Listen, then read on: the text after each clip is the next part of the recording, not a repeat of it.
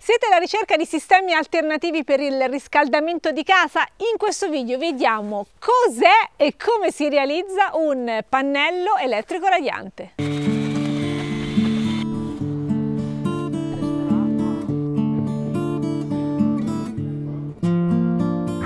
Io li chiamo pannelli radianti perché irraggiano.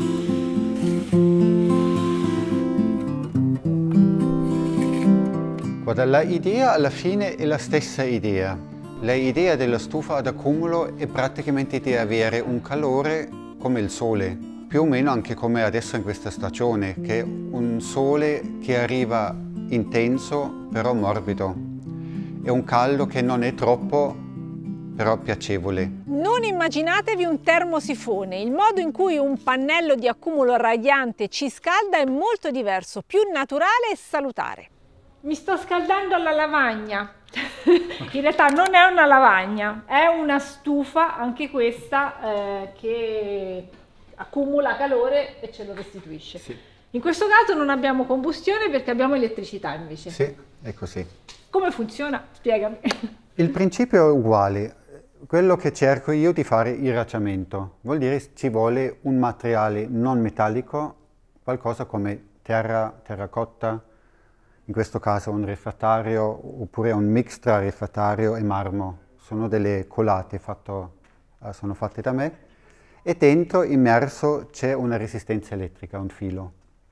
Quello si scalda, trasmette il calore sul materiale e quello poi dopo fa il irraggiamento. Il gatto viene subito a scaldarsi accanto al pannello radiante questo certamente è il nostro oggetto qua da, da, officina. I pannelli sono bellissimi, si fa la forma e la dimensione più utile per la propria casa. Anche in questo caso bisogna calcolare in base ai metri quadrati da scaldare quanto deve essere grande il pannello. Giusto? Sì, poi spesso viene anche utilizzato come aggiunto praticamente. Qualcuno si stempera la casa e quando serve o oh, per guardare la TV, TV oppure quando viene vengano le visite, quando si mangia, si accende quello per uno o due ore e c'è proprio caldo come entrasse il sole. Per avere questa, questa intensità di calore ci vuole un materiale eh, che, che, lavora nello stesso modo, vuol dire sarebbe come la terra, la pietra. Scaldando la pietra fino a una certa temperatura ha la stessa intensità. Come qui questi pannelli di una pietra, in questo caso artificiale, e lo scaldo fino a circa 100 eh, gradi mi dà la stessa intensità come il sole. Sì, questa è proprio la base, così si comincia tutto. Su quello vengono applicati i fili e dopo piano piano riempito. Chi isola? Ah, Abbiamo okay. fatto addirittura con la pula di riso anche, ah, come okay. isolante. Invece davanti poi la parte che accumula. Il bello è che praticamente il calore diventa intenso, però rimane morbido. Invece col metallo è spesso molto forte e neanche più piacevole. Invece qua rimane davanti anche un giorno. Qua vedete diverse finiture che si possono applicare sia sulle stufe che sui pannelli. Sono addirittura ogni tanto sono proprio del, delle lavorazioni spatolate, oppure questo qua una, è levigato, che qua esce molto di più il grano proprio della pietra, si nota di più. Questo ad esempio è un marmo uh, verde con un po' di ossido blu e si vedono anche le pagliuzze di paglia addirittura. No, per essere sincero, sto provando di usarla e la uso molto volentieri sapendo che è veramente uno scarto. Se no ci sono anche altri materiali tendenzialmente naturali come la vermiculite, sono delle pietre mm, soffiate, un pochino mm, come nel vulcano. Ad esempio sono sempre lavorazioni in calce quello verso l'azzurro, qua verso il giallo. Il consumo dipende dalla dimensione del pannello, dall'isolamento della stanza, dalla fonte di energia, dalle ore che lo teniamo acceso. La domanda praticamente quanto energia devo mettere vale tendenzialmente per tutti i riscaldamenti. Se vado a metano, se vado a corrente elettrico, se vado a legna, io devo mettere sempre una certa quantità, sono più o meno un kilowatt di potenza per 10 metri calpestabili. Eh, il pannello radiante ha un grande vantaggio. Tanti si spaventano all'inizio che dicono ma il costo della, della luce e alto. In verità è così che un grande vantaggio del pannello radiante è che l'energia che viene messo dentro ci rimane proprio per 100%. Non ci sono dispersioni, non c'è, proprio non c'è una dispersione sia di caldaia che, che altro. Però questo vale per tutti i riscaldamenti ad irraggiamento per il fatto che non scalda l'aria, l'irraggiamento, che proprio scalda tutto che tocca sia il corpo fisico, scalda il pavimento, mobili, eccetera, eccetera, consuma sempre tra 30 e 40% meno rispetto a un termosifone. Un altro grande vantaggio di questo pannello abbiamo scoperto anche con alcune visite, alcune piccole guide, quando c'era un gruppo per dimostrare un pochino il pannello, l'abbiamo acceso, entro 20 minuti stavamo tutti davanti proprio al caldo in un ambiente come qui, vuol dire fa anche freddo. Poi tutti hanno detto, ma sì, se io dovevo fare la stessa cosa con la caldaia, col termosifone, dovevo accendere almeno 3-4 ore prima per non avere lo stesso piacere. E accendo il pannello radiante queste 2-3 ore quando mi serve.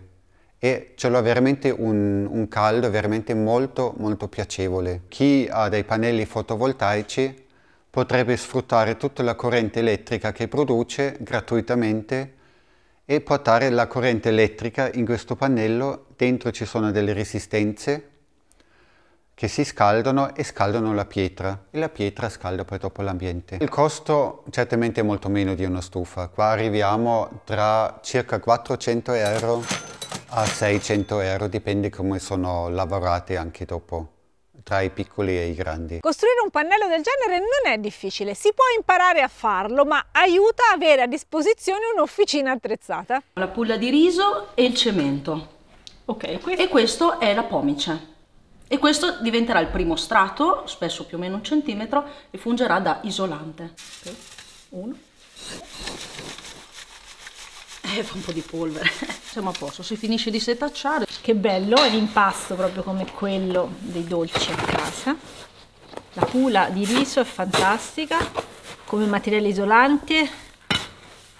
Quindi metti un po' e io giro, giusto? No, adesso attacchiamo il miscelatore, sennò c'è da spaccarsi le mani. Ah, ok. Le braccia. Figo. Ho paura di farlo uscire. Eh, ho preso io il secchio piccolo. È veramente un minuto.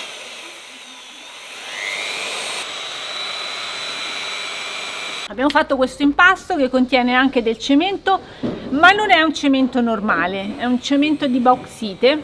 Il cemento normale che conosciamo nell'edilizia viene fatto tendenzialmente di calcare, è una miscela di calcare e argilla. Il cemento che deriva dal bauxite viene usato nel, nei ambiti dove c'è tanto caldo, alti forni eccetera e come detto deriva del bauxite, un'argilla molto ricca di ossidi di ferro e di alluminio. Resiste a temperature fino ai 1400 gradi, quello che abbiamo qui. Le fasi di realizzazione sono così, intanto mi preparo, qua si vedono tre modelli, due cerchi che vengono applicati alla, alla parete e qua un pannello rettangolare un pochino più piccolo, si vedono diverse dimensioni, anche qua già si capisce scaldano di più, scaldano di meno. Questo ad esempio va tra 500 e 800 watt e questo va più o meno tra un kilowatt anche fino a un kilowatt e mezzo. Si può immaginare se dietro la parete della stanza non voglio che il calore arriva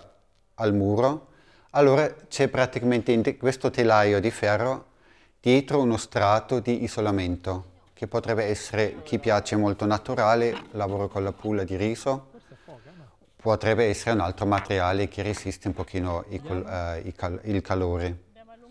Dopo quello che si vede qui c'è uno strato, quello, la maggior parte dello strato, un refrattario. Questa è graniglia di refrattario, un'altra paletta ancora ci siamo. E voilà. E adesso gli ingredienti del pannello radiante e c'è un ingrediente un po' particolare che sono questi aghetti, non è che pungono, eh, sono queste striscioline di ferro che servono a dare struttura all'impasto. Questo più o meno... Ok, dobbiamo preservare anche. Adesso ne aggiungo un altro po'.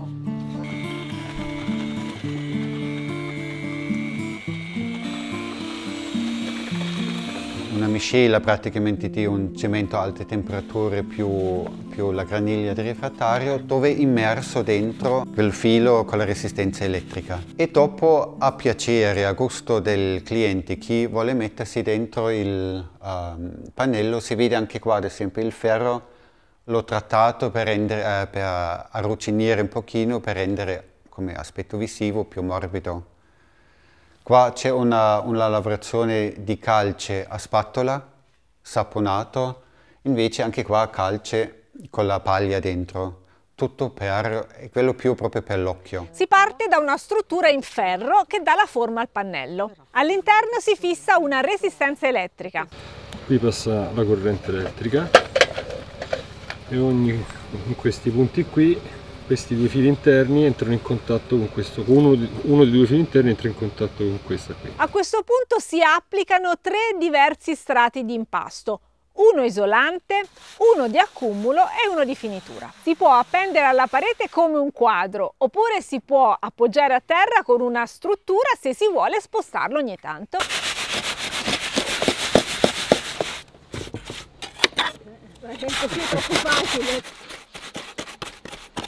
Il irraggiamento ha un valore che si conosce anche dal sole, anche di solito non siamo consapevoli di quello, che arriva al corpo e penetra il corpo, si dice fino a 7 cm.